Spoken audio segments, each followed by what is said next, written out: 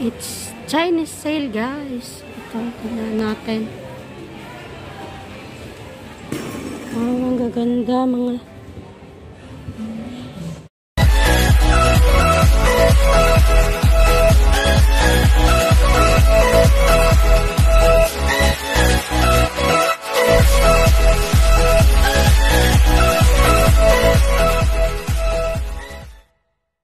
Shoes na sale.